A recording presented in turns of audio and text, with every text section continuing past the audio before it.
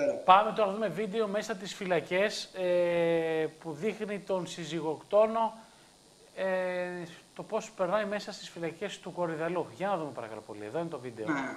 Είναι σίγμα τάφη πτέρυγα, είναι αυτή που λέμε η λεγόμενη VIP πτέρυγα. Τώρα καλυμμένο το Εδώ- πρόσωπό του βέβαια για ευνόητους λόγους. Όλος ο κόσμος το έχει Ακριβώς. δει, δει το πρόσωπό του. Για να πες μας εδώ. Εδώ Ε, λοιπόν είναι, είναι- η πτέρυγά του. Εδώ Ε, το κελί. Ακριβώς, είναι- ε, όπως τα περιέγραψες μόνος σου και πολύ σωστά είναι η πτέρυγα, νάντε και είναι και το κελί στο οποίο τον βλέπουμε μάλιστα σε κάποια φάση και να τηλεφωνεί.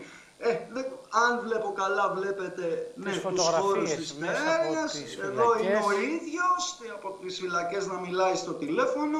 Ε, να πούμε ότι το κατάφερε ο συζυγοκτόνος Φίλιππε πάντως. Το αίτημά του έγινε δεκτό. Και ποιο ήταν το αίτημά του, θυμόμαστε; Το αίτημά του ήταν να κάνει μεροκάματα στη φυλακή. Και από ό,τι φαίνεται λοιπόν, ο Μπάμπης Αναγνωστόπουλος, ο συζυγοκτόνος, το αίτημά του έγινε δεκτό και έτσι μπαίνει στην τροφοδοσία των φυλακών με αποτέλεσμα φυσικά να μειώνεται η ποινή του καθημερινά από το day one, από την πρώτη μέρα δηλαδή που μπήκε.